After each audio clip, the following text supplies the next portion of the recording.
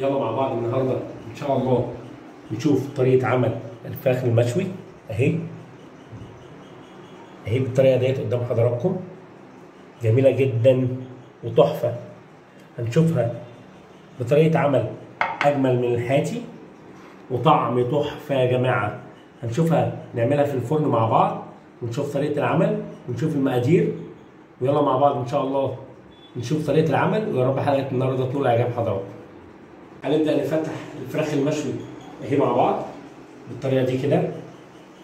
هنيجي من جنب العظم بتاع الورك. اهي. هنفتح خالص. ما تاخدش وقت في التسوية. اهي. نفتح العظمه ونيجي من قدام. نفتح فتحة. هنا كده. وفي الدبوس. أهي. نبدأ نجيب الصدر. نشيل من الأطراف.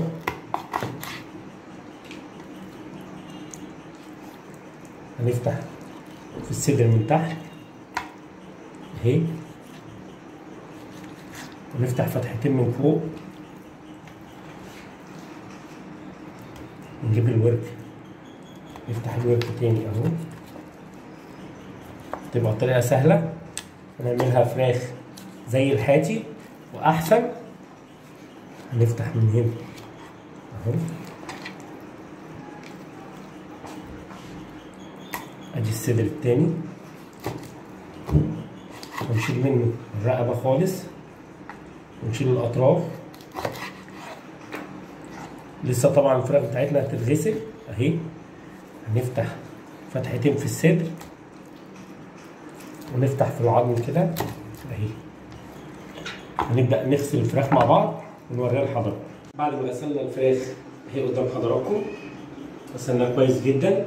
هنبدأ نعمل لها محلول المطهر تطهير للفراخ عبارة عن ثلاث معالق دقيق معلقة كبيرة من الملح. أهي. على لتر مية. اتنين عصير ليمون. الدقيق عشان يشيل أي نوع أو أي حاجة فيها دم من الفراخ. نص كوباية من الخل المركز. أهي. ويبيض الفراخ. يفتح الفراخ. والأحماض كلها الملح والليمون والخل بيفتح لون الفراخ وبيبقى مطهر للفراخ. هنبدأ ننزل. بالفراخ بتاعتنا اهي كلها. نسيبها في المطهر ده مش أقل من نص ساعة. لتر مية معلقة كبيرة من الملح ثلاث معالق من الدقيق. وآدي الفراخ بتاعتنا اهي ونص كوباية من الخل المركز. اهي قدام حضراتكم. هنسيبها فيها إن شاء الله نص ساعة ونبدأ بعد كده نغسلها بمية نظيفة ونقدمها لحضراتكم في طريقة العمل. بعد ما غسلنا الفراخ بتاعتنا وطلعناها من المطهر هي قدام حضراتكم. تطلع جميلة وتحفة وريحتها تحفة. أهي. هنبدأ الخضار بتاعنا قدام حضراتكم أهو. عبارة عن وحدتين من البصل طماطم فلفل رومي أحمر فلفل رومي أخضر جزر وثوم التوابل. عبارة عن كاري كركم كزبرة فلفل أسمر بابريكا ملح كمون. من كل حاجة نص معلقة صغيرة. معانا نص كوباية من الزيت كوباية من المية فنجان من الخل. هنضرب كده قدام حضراتكم. أهو. الفراخ المشوي. طريقة جميلة جدا. أهي. زي الحاتي وأحسن كمان. ننزل بالحاجة بتاعتنا كده. أدي الزيت. أدي كوباية كبيرة من الميه فنجان من الخل هنعصر واحدة ليمون. أهي. وهننزل بالتوابل بتاعتنا كلها. اهي قدام حضراتكم. كل التوابل بتاعتنا اللي إحنا قلنا عليها. هنلاقي المقادير كلها موجودة في صندوق الوصف على اليوتيوب وهنلاقيها موجودة على صفحة الفيسبوك. برضو المقادير كلها اللي هي مكتوبة إن شاء الله. يا رب حلقة النهاردة تكون إعجاب حضراتكم. أهي.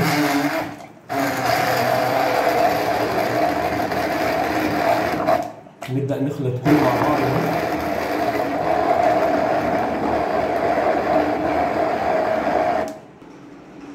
اهي كده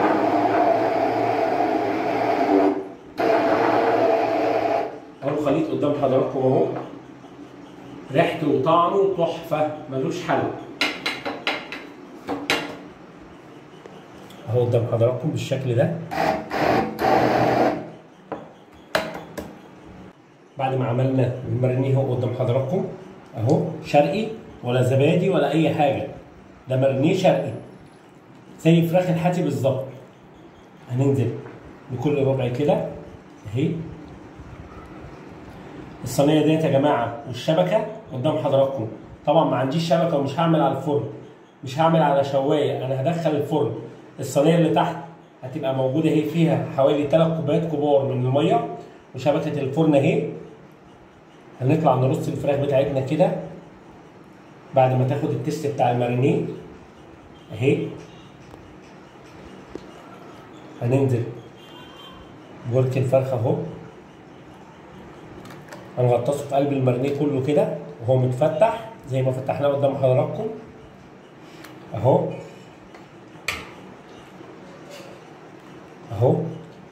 طبعا المارينيه اللي هيتبقى واللي هينزل من الفراخ هينزل في قلب الصينية اللي فيها الصوص هيدي طعم وتست تحفة للفراخ وهي في الفرن.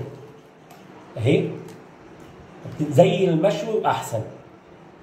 عشان اللي ما عندوش شواية موجود الفرن هنحطها في قلب الفرن عادي وهنشوفها طبعا في طريقة التقديم اهي قدام حضراتكم على الشبكة بتاعت الفرن.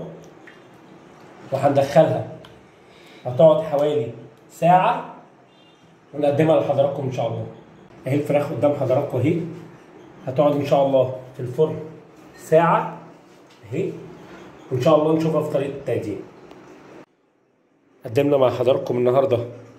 طريقة عمل الفراخ المشوي أهي بفضل الله أفضل من الحاتي طلعت بالطريقة ديت قدام حضراتكم. قعدت بالظبط ساعة و15 دقيقة داخل الفرن. أهي شفنا طريقة العمل شفنا طريقة التحضير. دي تقديم النهارده أهي قدام حضراتكم. ويا رب حلقة النهارده تنول إعجاب حضراتكم. أهي بالشكل الجميل ده. هتلاقوا المقادير كلها موجودة على صندوق الوصف يا إما على صفحتنا على الفيسبوك بطريقة العمل وطريقة المقادير. أهي. ما تنسوش الاشتراك في القناة وتفعيل الجرس عشان خاطر يوصل لحضراتكم كل جديد. ما تنسوش متابعتنا على الفيسبوك عشان خاطر تشوفوا كل جديد. وإن شاء الله انتظرونا في المزيد. ويا رب حلقة النهاردة تنول إعجاب حضراتكم. وشكرا. ومع الف سلامة